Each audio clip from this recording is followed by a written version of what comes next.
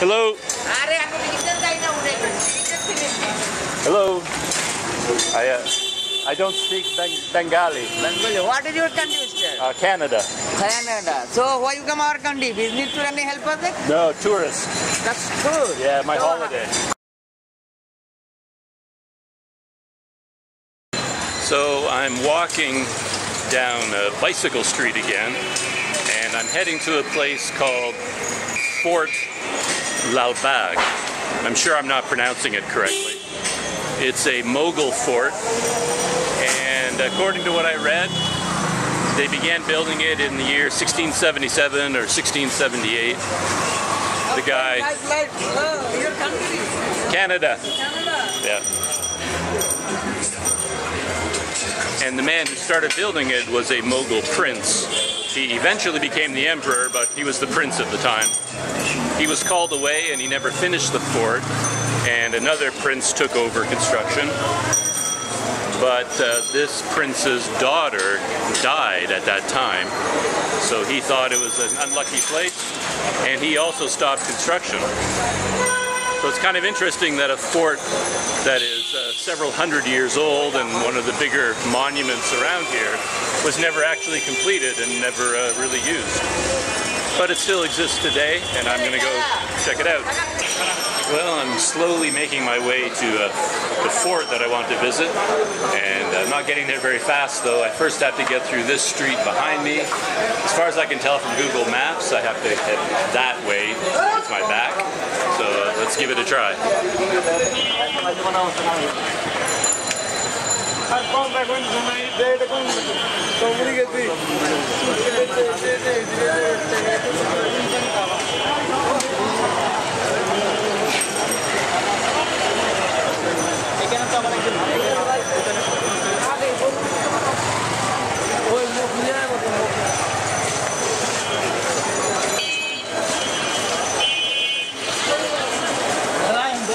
At some point, I think I'm going to have to master the mysteries of the uh, rickshaw. They're very inexpensive to use, and though they may not go very quickly, you know, it'd be about the same pace as walking or faster than walking. The only problem, of course, is a language barrier. Have to tell the guy where it is you want to go, and then more problematic for me is then you then have to discuss the price.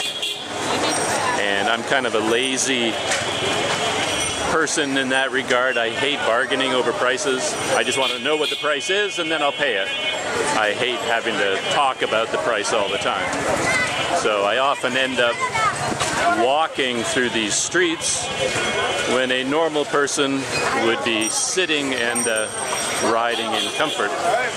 And so, after a pretty interesting walk, I think I've made it to Lalbagh Fort. Here is a piece of it up there behind the wall. Now that I've thought about it, I'm pretty sure that that would not be the original name of this fort. They call it Lalbagh Fort because it's a fort, and now it's located in the modern area that they call uh. Back when it was built in the 16, in 1677, who knows what it was called. So this is the outside wall of the fort. First step is to find the entrance. Once I get to the entrance, I'm not entirely sure if I'm even going to go in. I went to a local museum the other day. The price for locals was 20 taka, but for foreigners it was 500 taka, which is 25 times more than the local price. So it's pretty common for places in Asia to have two prices, one for the locals, quite low, and a higher price for uh, foreigners. And normally it's not a big deal. But I found the one the other day, 20 versus 500, you know, 25 times the price. That's a bit much. And I wasn't that interested in the museum anyway, so I didn't go in. So we're going to see uh, what the price is for this fort. And if it's too expensive to go in, I won't even bother. Walking here is more interesting than uh, the fort itself. I don't know if this is the uh, front entrance to Lalbagh Fort. It could be, and at the moment it uh, seems to be closed.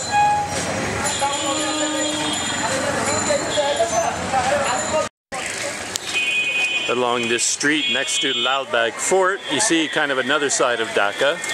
There was a pizza parlor down there, a couple of fancy coffee places, a juice place. Here we have a real taste of ice cream and coffee.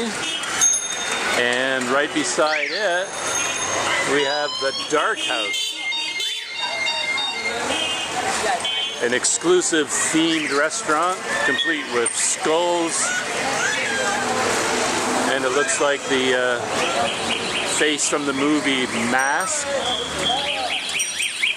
That's quite an interesting place.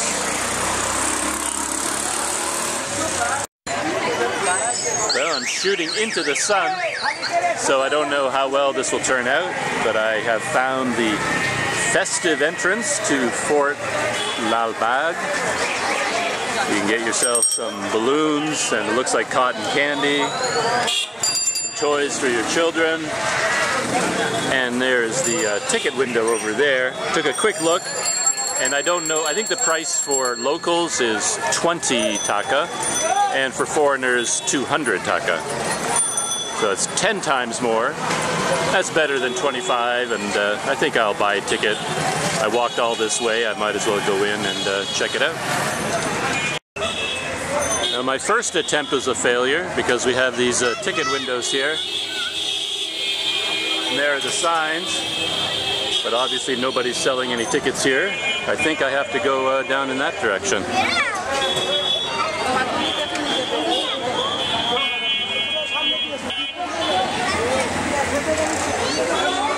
And here is the gateway to the inside. Hello, how are you?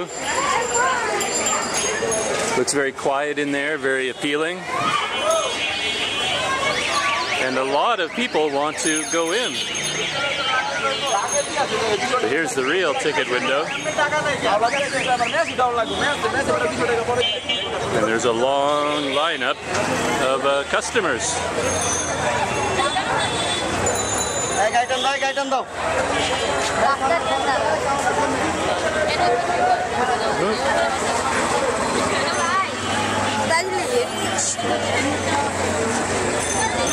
Wow, look at this. So it looks like it's a very popular place to go in the evening.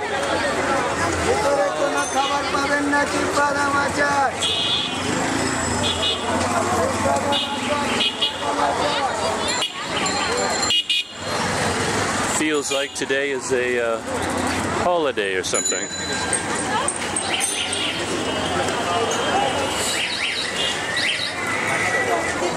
Considering the large crowds waiting to get in and the fact that it's 4 o'clock in the afternoon, I might not go into the fort at all. Just walking here was enough of an entertainment for me. But I just happened to see this sort of uh, long alleyway between two fences. And from here, I think you can go right into the fort and um, look through the fence.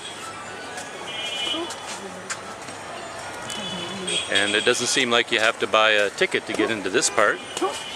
So you can kind of look around inside and uh, see everything without having to go inside. And there's the fence. If I stick my camera through, there is the uh, two or three structures of Lalbagh Fort. I was. They generally say that there are three structures in here. There's like a uh, reception hall, and then the place where the uh, princess is buried, and then one other building but they've done some archaeological excavation and they found a lot more structures scattered around here. So there used to be a lot more buildings at some point.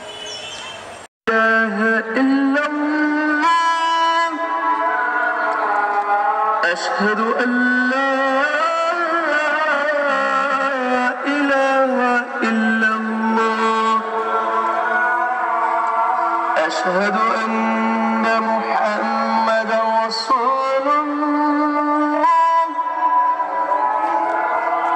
أشهد أن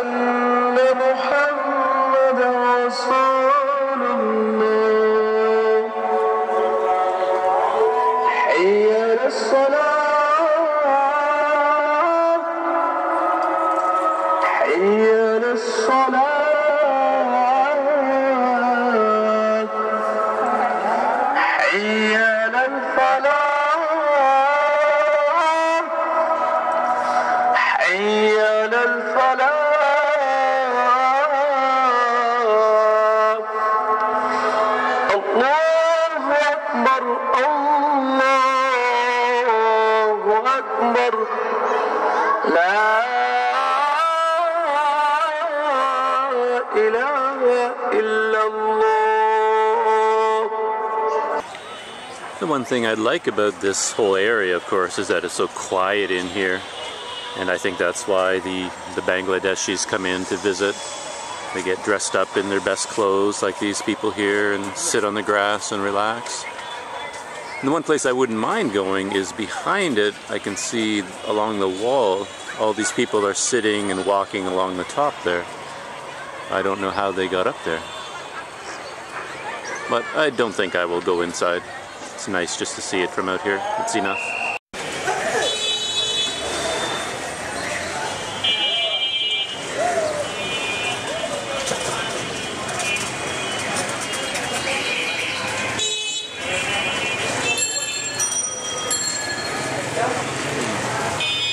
That kind of brings me to the end of my uh, visit to the, uh, the Fort Lalbagh. And uh, now it's time to start walking back to my hotel and uh, see what there is to see this way.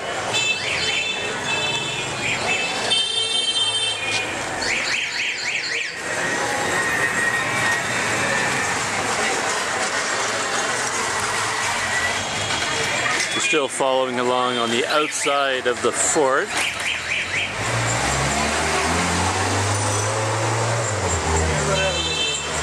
So I honestly have no idea if this wall was part of the original fort or not. Somehow I doubt it, but uh, you never know. And I think this sort of signals the end of my little trek to uh, Lalbagh Fort. I'm back on the street beside the uh, large prison. Seems like my uh, journey began here long ago. And I was going to say it's a bit quieter here than other places. And uh, yeah, got another couple kilometers to walk back to my hotel. But the sun is going down, so I won't be able to film much more. The end of uh, day three Dhaka in the daylight.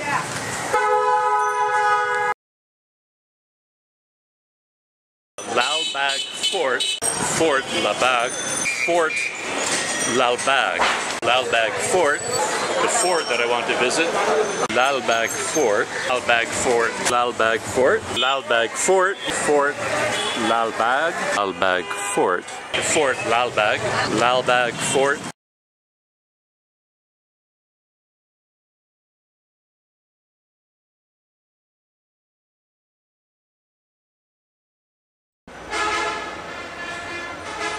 The bonus question from the last video was why do I put my sandals here? The answer? To keep out mice and rats. I had a lot of uh, nighttime visitors in this room, and I was hoping that putting my sandals here would do a little bit to uh, keeping them out. Bonus question for this video. What is this object and what is it used for? Leave your answer in the comments below. Answer at the end of the next video.